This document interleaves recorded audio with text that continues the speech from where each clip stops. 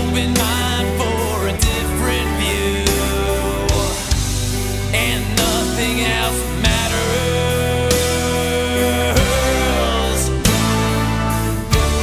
Never care for what they say, never care for games they play, never for what